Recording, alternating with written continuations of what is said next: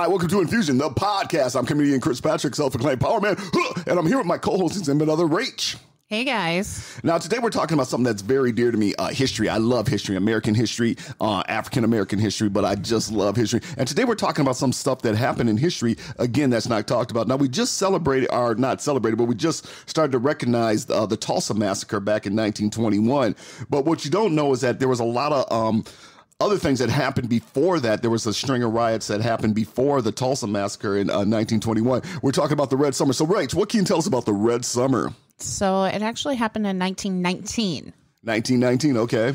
So, what happened before that was in St. Louis, um, the NAACP started becoming um, a thing, and they did a silent march in St. Louis in July of 1917. Okay, 1970. Now, wasn't there something that these soldiers that came back from uh, World War One and that was in 1919? Yep. 1919. Okay, now these soldiers came back from the war in 1919, and what they found out is that overseas that they they were they were treated like um, you know, not second class citizens, but they had they had rights and they were treated they were treated equally overseas, and they came back after fighting in the war, fighting for America, and they wanted equal equal treatment in America and they weren't getting the equal treatment in America after coming back from serving this country. Am very I- true, very true. In fact, there's a funny story to go along with that. Um, for um, African Americans, um, we know about the stories about the buses. Yes, yes. Um, mm, there was a very similar um, thing going on with the trains. Um, for the trains, um, if the passengers um, seating was filled up, the black passengers needed to get off and allowed the white passengers to get on. Okay, okay. And um, this white um, um, officer seen that this black um, officer had just gotten married and had waited two trains and said, Why aren't you getting on the train? Yeah, black. Okay, a black black officer from the war. Right, right. Army army guy. Um, said, "Why aren't you getting on the train?" And he said, "Well, the rule is if it's full, we need to get off." And he's like, "Well, you're not going to miss the next train."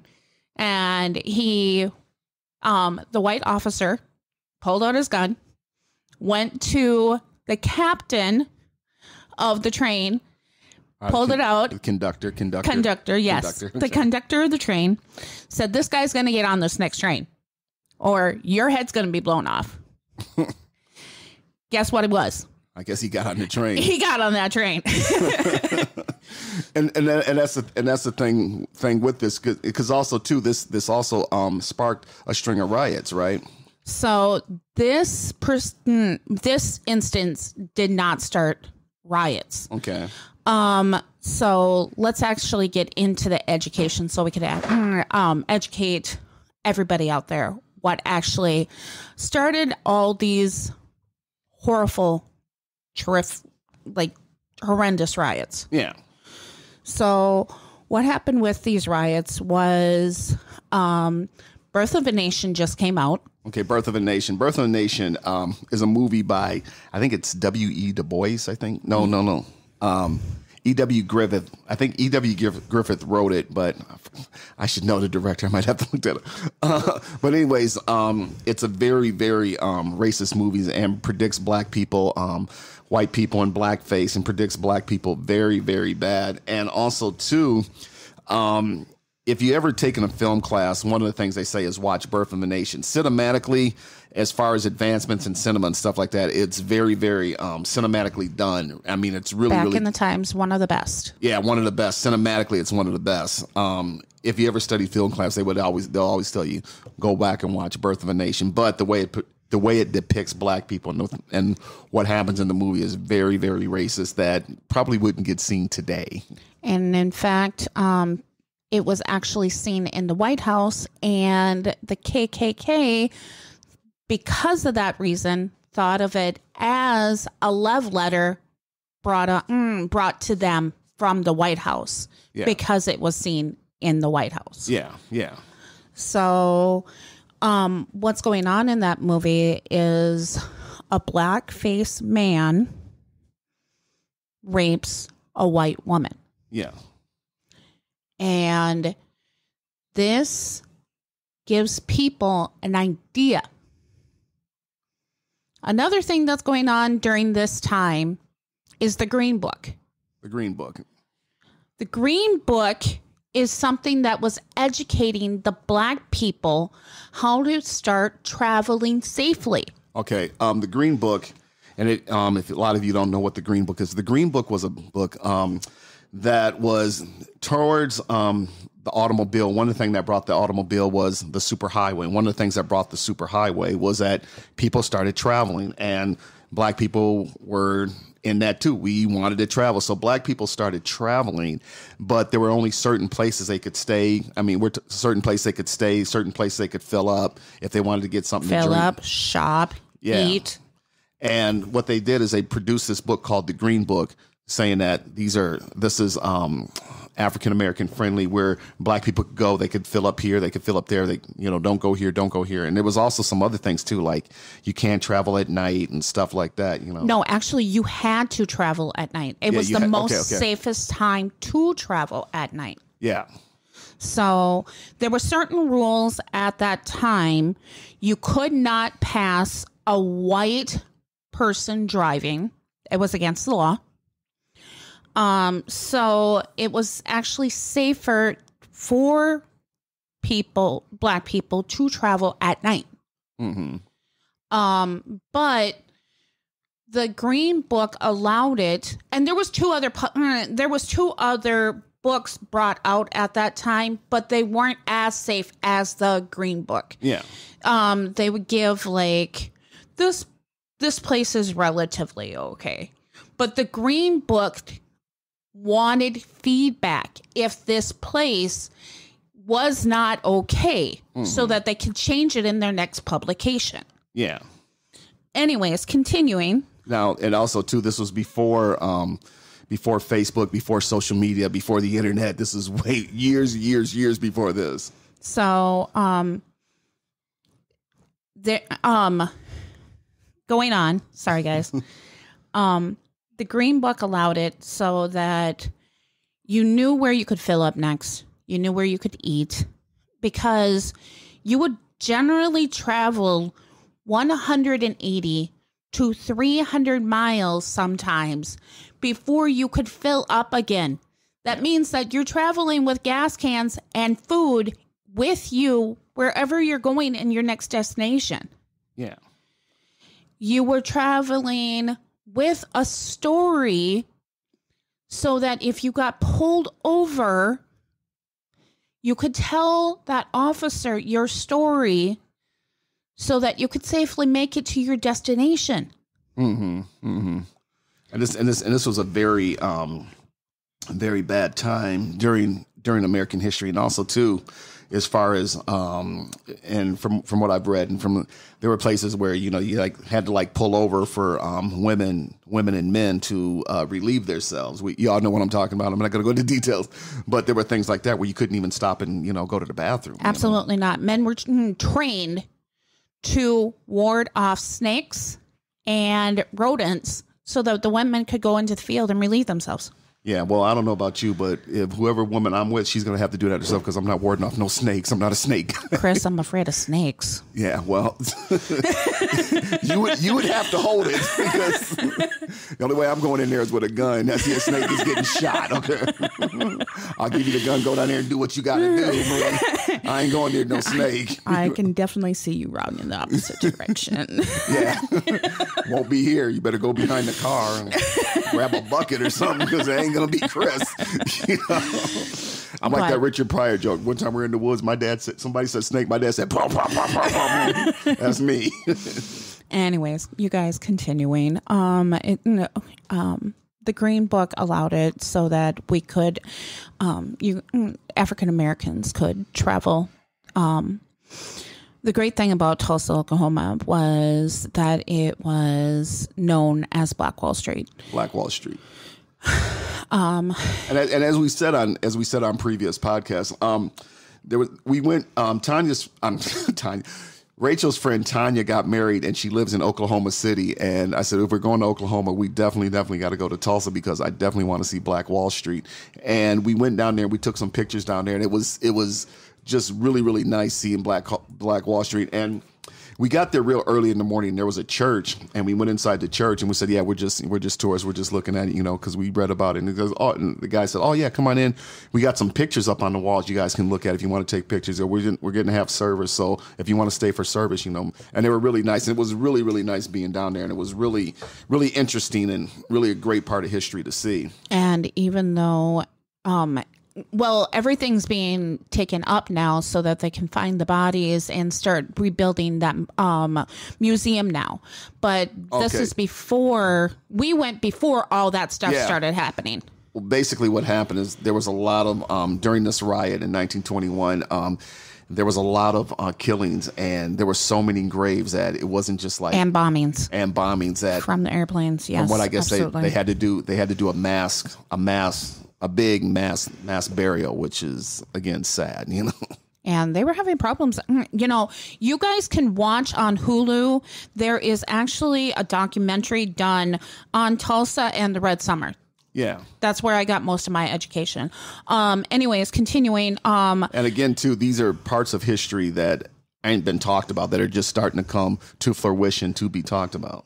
Um, so we were actually in Tulsa before all that um, bringing up mm, bringing up of uh, the ground was happening, and we could feel the heaviness. Yeah, Like we could feel the heaviness above the ground. We could feel the heaviness in our hearts. We could feel like we left very quiet people.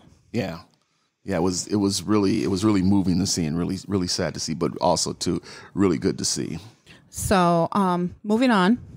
Um, so the Green Book allowed Black people to travel safely through the United States. Um, one of the biggest places that everybody wanted to go to was Tulsa, Oklahoma. Um, just building this all up in your guys' mind. Uh, Birth of a Nation was created. Um, the reason in Birth of a Nation um, that um, was so powerful was a white woman in that movie was raped by a black man. Continuing, so you're traveling to a place where you're seeing black growth without any white people helping. Yeah. What's Without any, without any outside influence. and white people are seeing this and they're like how do we how do we get how do we squash this? How do we get rid of this? Because absolutely they need us. Because there's things out there that you know there's a doctor out there saying well their brains ain't any smarter than an ape you know black men need to be castrated. Like these are ugly horrendous things that are completely untrue and the NAACP and other groups are fighting at that time to prove untrue. The soldiers are coming back and they see that they can be treated as equals. And so they are done. Yeah. After they fought for the country. That's right. And they want their respect.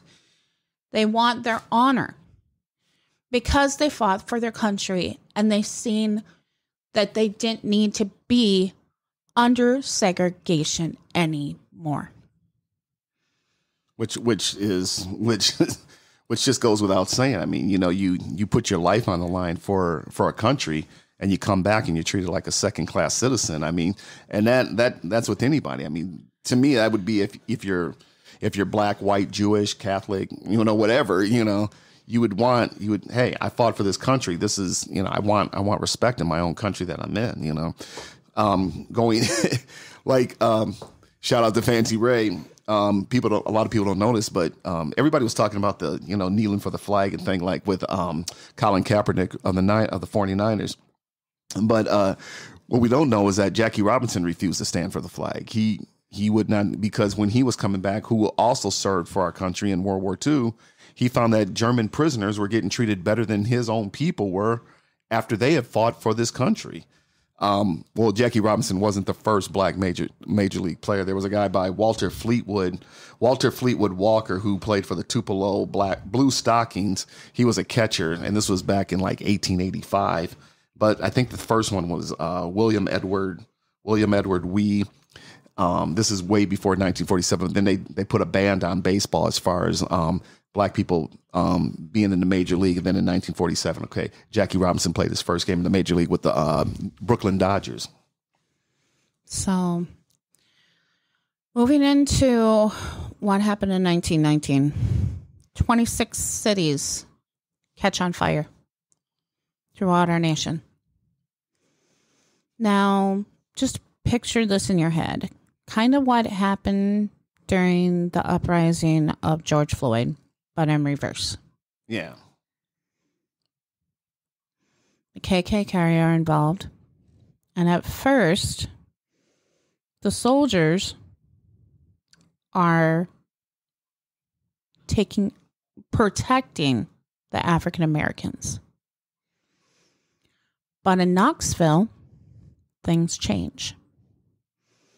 In Knoxville, the mayor is protecting the black man that is accused of murdering a white woman.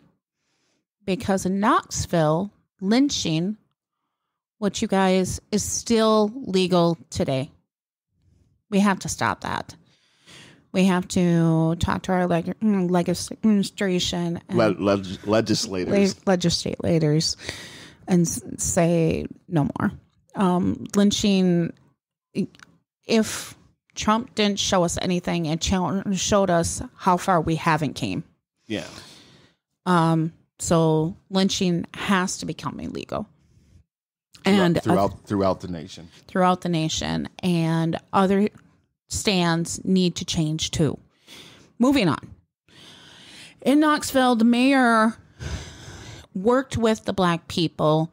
Now, to a point, he still didn't believe in all equality.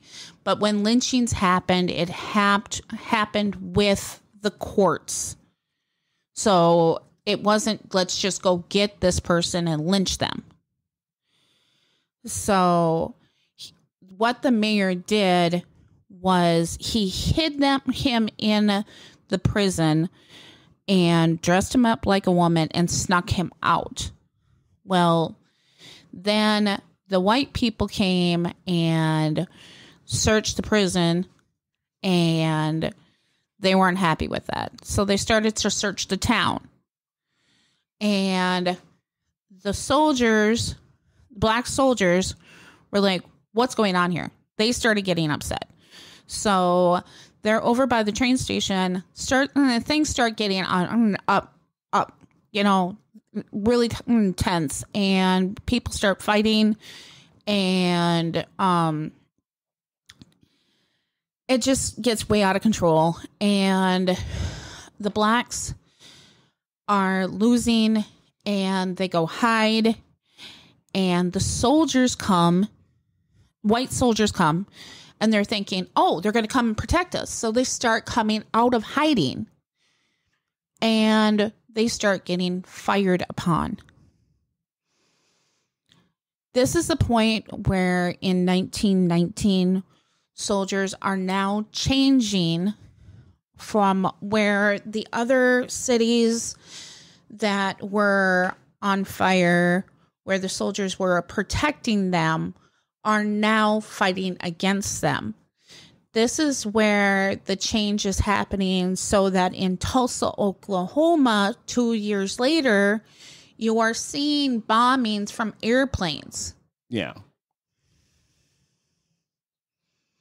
On your own people, on your own American citizens, even though even even at the fact that they're black, you're bombing on American your own American citizens.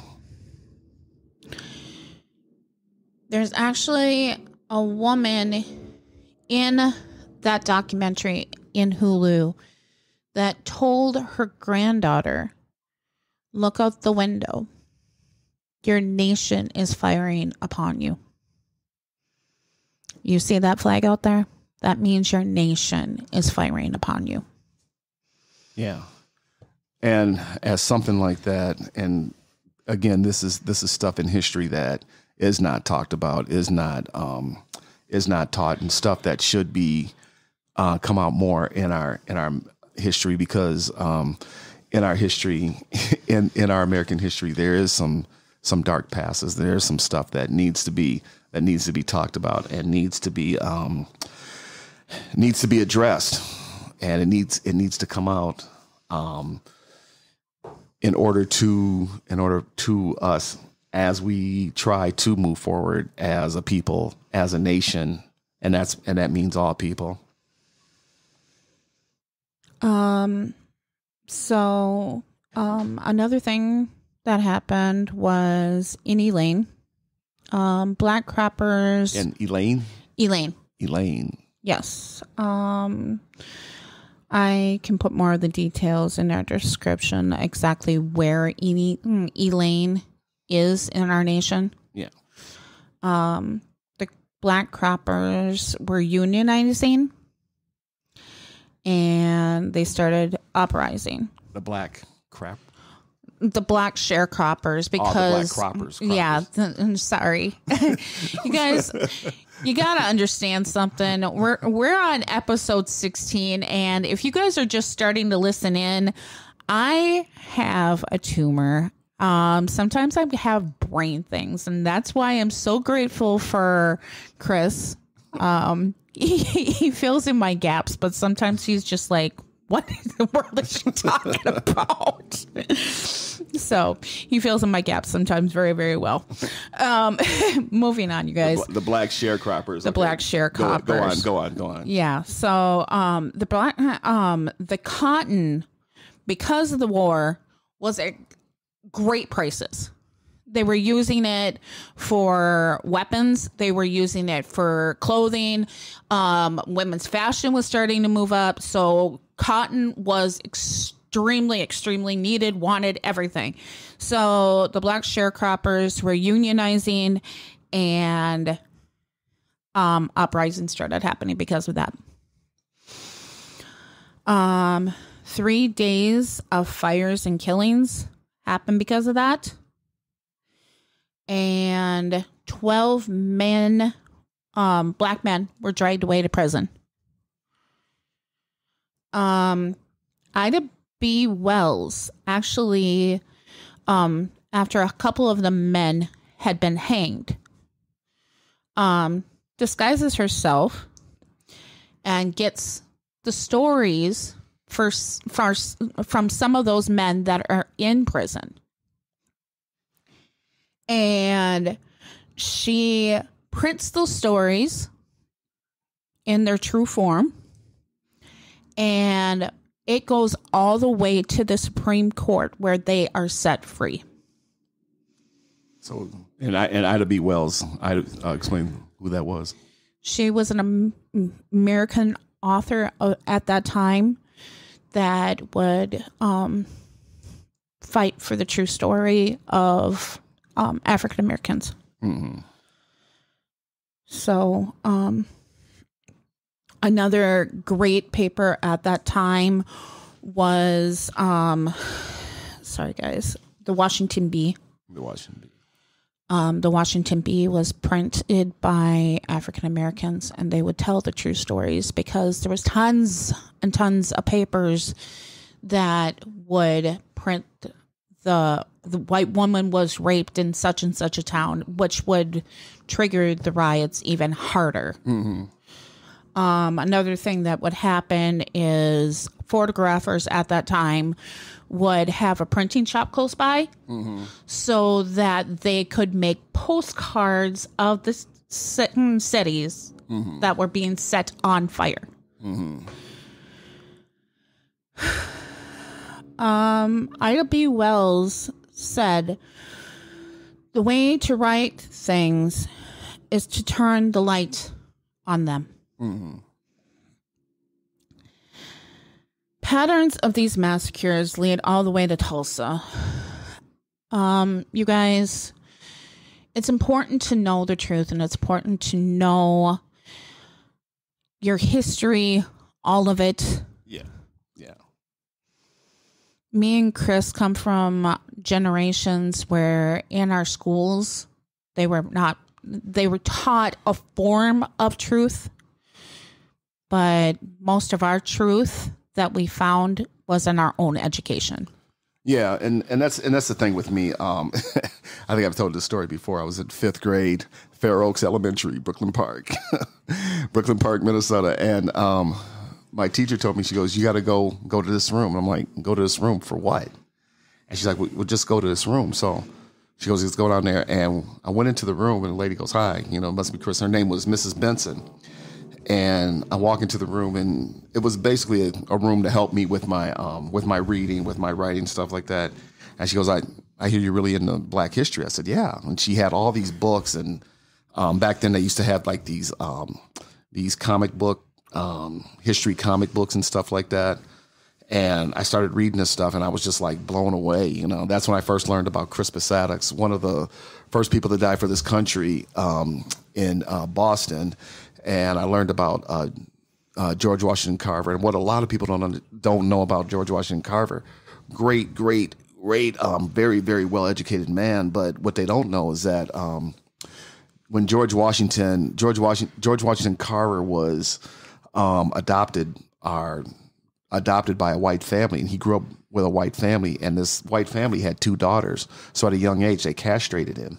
So to keep him from being, getting with their daughters, and a lot of people didn't know this.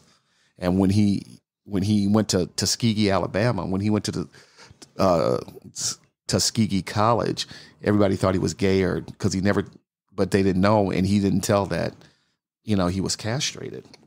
And this is stuff that is not said in um, in the history books, and sometimes, and this is with all types of history, you know. Um, even in you know Amer- regular American history, like this, the story we've been told George Washington chopped down the cherry tree. That that story never happened. I don't know where it came from or anything like that. But and this is things too. You know, you got to do your research and you got to you know seek seek your own history.